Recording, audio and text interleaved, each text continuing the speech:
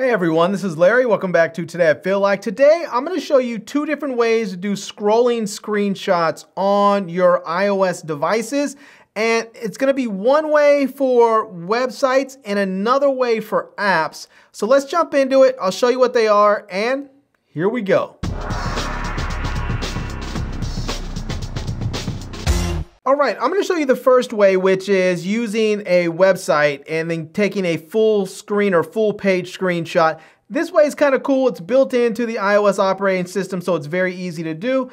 And right here in my phone here, we'll just go to the web browser and this is my photo website here. And we can see that we have a uh, just my home screen right there. And if I go into something like the zoo animals, we can click on there and see that there's going to be a page. The page is just going to scroll down a, a, bit because I have a bunch of different photos in there. So let's go ahead and take a screenshot. And I'm going to go ahead and click screenshot right there.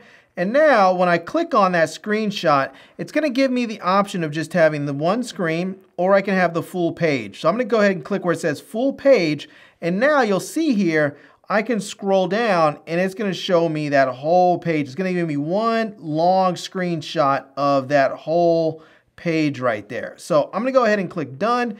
I'm going to save this and you're, you're going to see it's going to say save PDF to files. This is not going to save it right to your gallery app. It's going to save it to your files app, which uh, it's a little disappointing to me, but it is what it is. So there you have it. That's the first way how to do it. And let me go ahead and show you the second way if you're using apps, because if you're using an app, you don't have the option of doing that full page screenshot. You're gonna need a different separate app in order to do that.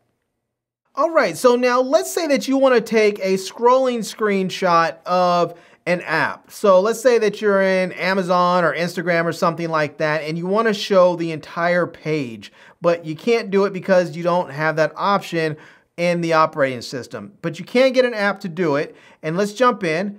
And we're going to go ahead to the App Store right here. And this is the app that I like to use. It's called Screenshot Stitch, a long photo collage. And this is by Blaylock Consulting Group. So this is the one that I like to use. It's free. There's ads in there. You can pay to remove the ads, but this is the one that I like to use.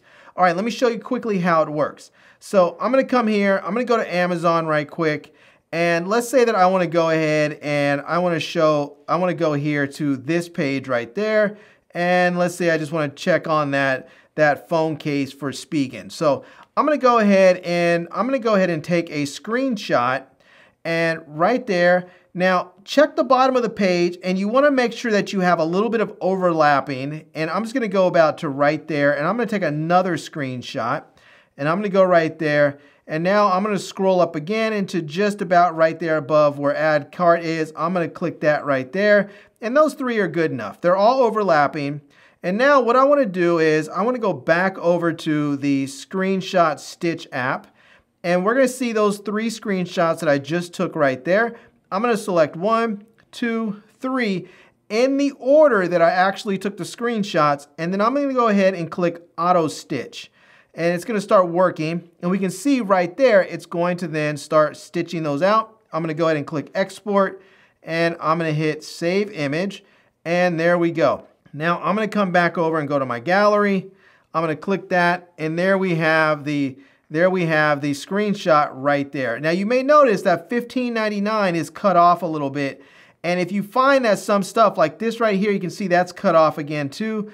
If you find stuff is cut off, then you can actually go in here and you can manually stitch. So let me go back over and uh, let me go back over to this and I'm going to select one, two, and three.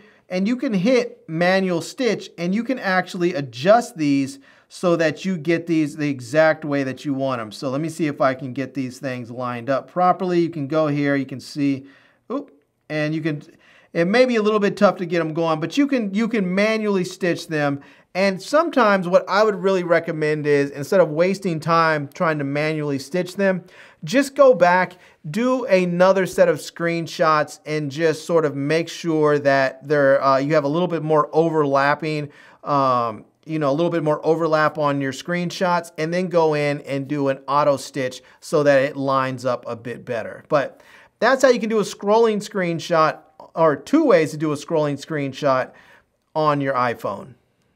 All right, everyone, so there you have it. Those are two ways that you can do a scrolling screenshot on your iPhone. And one is needing an app, the other one is built into the operating system. I really wish that they allowed you to do scrolling screenshots the same way they do it in on Android devices. It's built into the operating system. You can do it on pretty much any app or website. It works the same for both.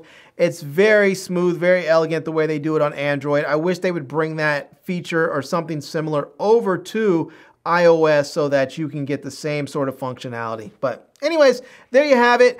I'm going to leave links to, well, my Amazon page and my social media contacts down below so you can see the other products and services that I reviewed over time. And you can reach out and say hello or ask any questions if you have any.